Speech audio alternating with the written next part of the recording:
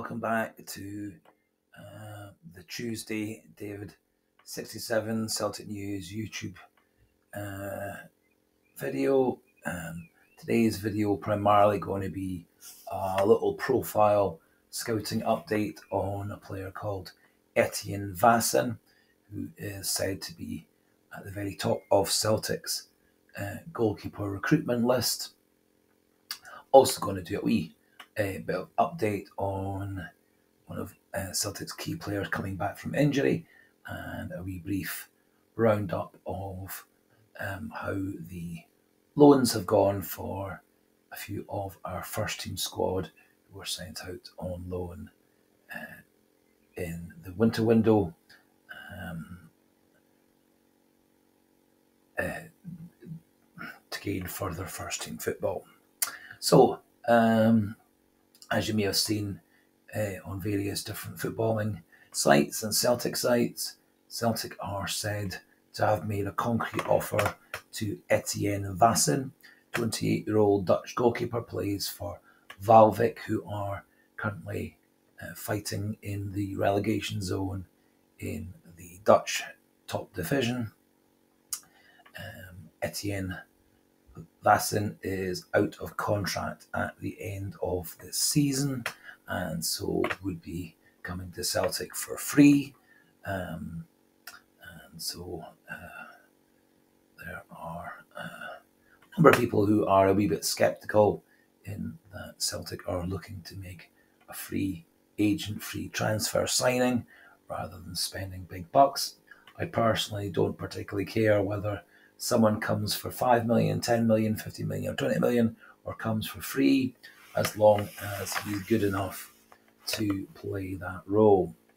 In the past, um, has been uh, valued in the several millions of pounds worth, um, and he is a very well respected goalkeeper within Dutch football, and so um, I don't see the fact that he is coming as a free sign, a free agent signing as being a negative factor. And indeed, that does mean Celtic would have more of a budget to entice him to Scotland in terms of wage budget. Interestingly, the other team who are said to be closely following uh, Vaessen at the moment are PSV, who of course are right at the top of the Dutch football system at the moment, and so clearly he is a very well respected goalkeeper. Now, I did do a little piece on Etienne Vaessen on the 16th of January. Uh, that was part of a video along with uh, profiles of Kelleher, McKenna, and Valdimarsson, and did have some uh, scouting reels relating to Vaessen at that time, although uh, the reels were a little bit restricted and so how I have managed to um, source a couple new videos uh, which will pop into the um, this video now and then we'll do a wee update on his stats and a wee update on how I see him as a potential Celtic goalkeeper and then there's a couple of other wee issues we'll discuss right at the end of the video.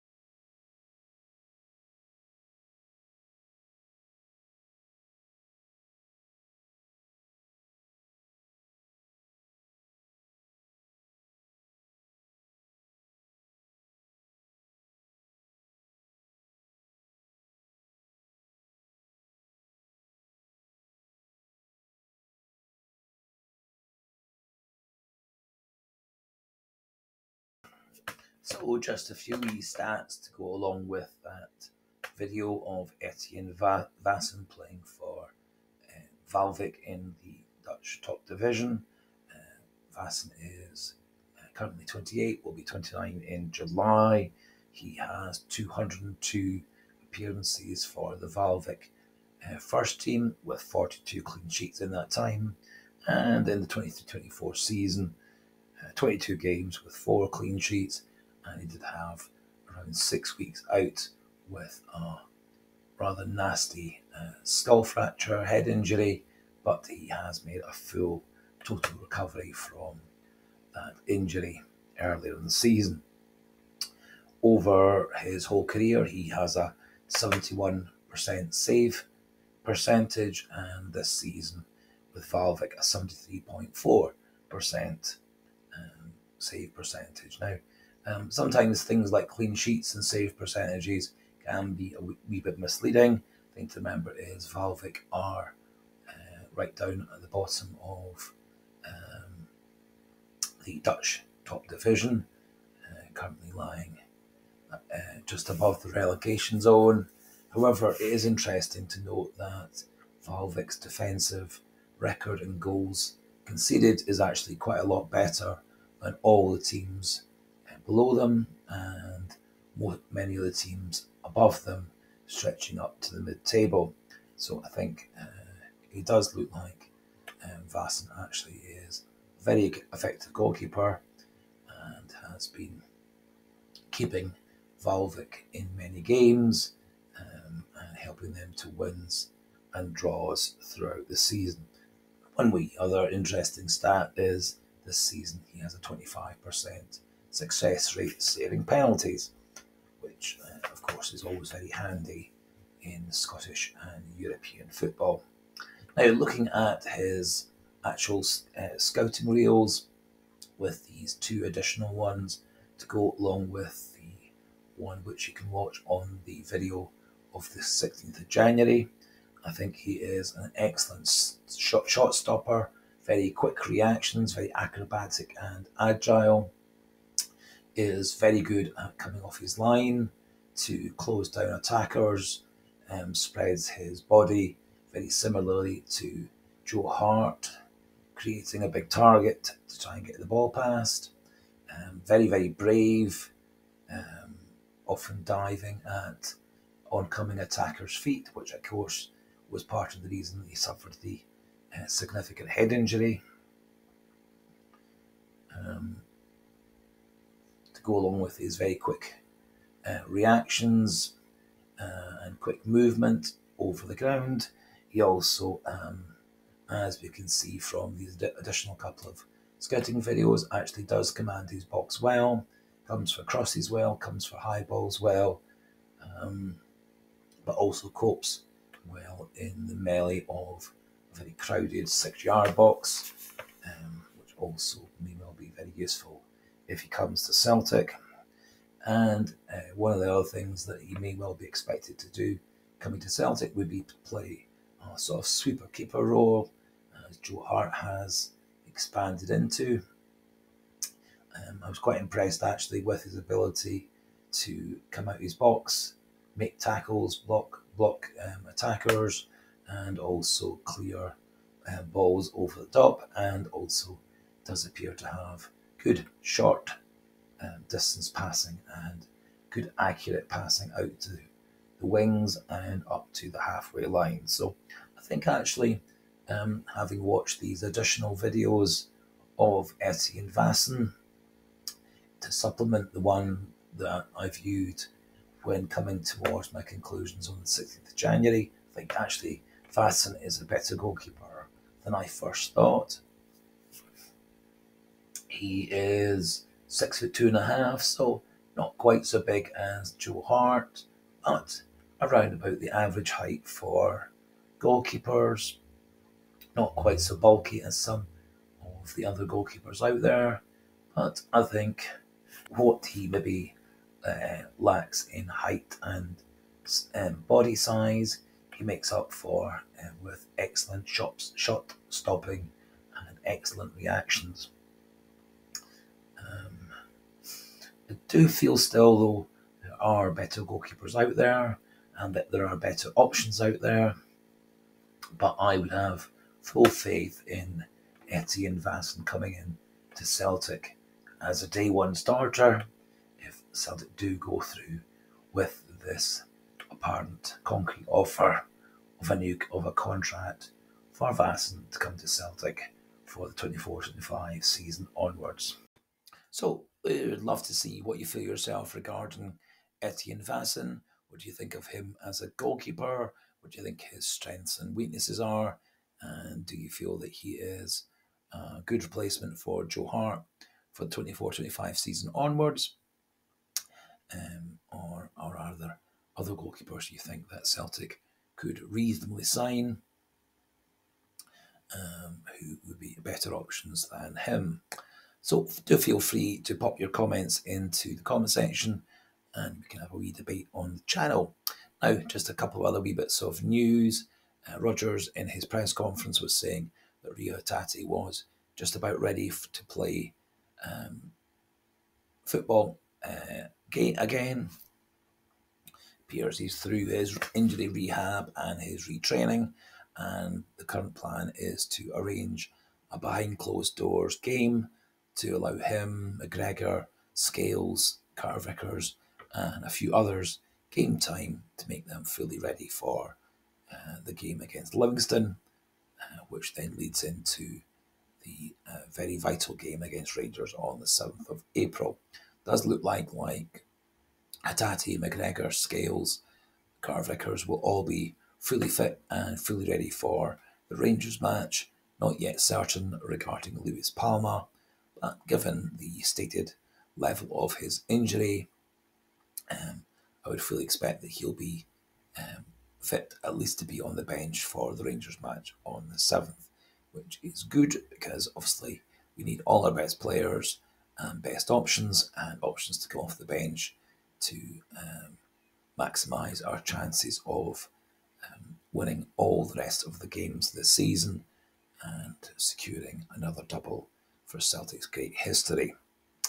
Uh, just to be update also on a couple of our players from the first team squad out on loan. Marco Tilio went back to Australia, played three games for Melbourne, culminating in a match where he was man of the match with a brilliant goal, and then unfortunately suffered a hamstring injury in training and is going to be out for two months, which will give him around about a month or so at the end of his loan period in Australia back playing um, but hopefully he can come back to Celtic, have a full pre-season with us, and be ready, fit, and able to be the great player that he promises to be in the 24-25 season onwards. And the other player who has been very impressive so far on his loan is Mikey Johnston, 10 games for West Brom in the English Championship, one assist, and very remarkably six goals for West Brom, which is an incredible um, upgrade on his goals output for Celtic, um, given the fact that it was the best part of about four years between his goal against Ross County and then his two goals against Dundee in Boxing Day 2023 fixture.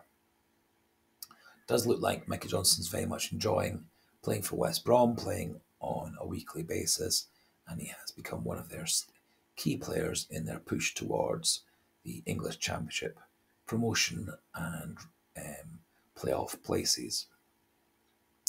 Rodgers said that they will be looking again at the options regarding Johnston at the end of his loan as to whether he comes back to Celtic to fight for first team place or whether he leaves Celtic at that time. And I personally think best option for Celtic and Rodgers and Mikey Johnston is that we all cut our losses and let him go to West Brom um, or a permanent move to allow him to kickstart his career, um, as he's never really flourished at Celtic, has struggled to um, play consistently, and has never really coped with the pressure of being a Celtic player. And so I think it's time, probably, for the sake of his career, to let him move on and establish himself elsewhere. So um, finishes things off today. Apologies for any cro- croaky voice. Apologies for any wee um, odd cuts and edits in the video. That simply was me cutting out bouts of coughing. For all those new to the channel who aren't yet subscribers, please do click that subscribe button. Help me on my recovery from pneumonia uh, by cheering me up with a few extra subscribers it would be wonderful. And for all those who already are subscribers and viewers, please do click that like button and use the comment section um, to um, share your opinions and thoughts about Celtic, uh, this video, and Etienne Vaessen. Um, we'll do another video tomorrow or at the very latest the day after, and that is dependent on what news is coming out of Celtic in the next 24 48 hours. And so until then, goodbye and hail, hail.